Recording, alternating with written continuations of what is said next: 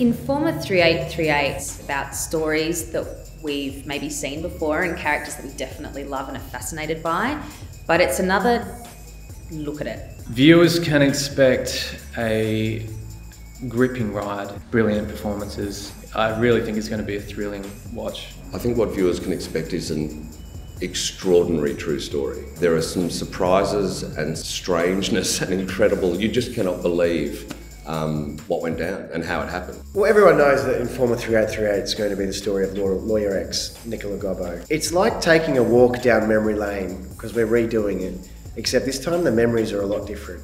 The character of Nicola, I think, is an intriguing kind of mix of strength and um, ego and vulnerability. And I think hopefully the audience kind of wants to know more about it. And I think also people are going to enjoy seeing some of the characters that they've seen in previous underbellies sort of return. I think it's going to be really beautifully directed, excellent drama. I think it's going to be great television. A great story, good drama, rich, full characters. Great entertainment is what I'm hoping for. This show is just based on something that's so crazy. When you're watching our show, I think you're going to think, this is crazy. How did this happen? But it happened. And Ella um, playing playing Nicola Gobbo is just extraordinary. It's absolutely fascinating. It's like action packed, and the characters are characters that we are familiar with. I think it's just going to be a great show, and, and the viewers are going to love it.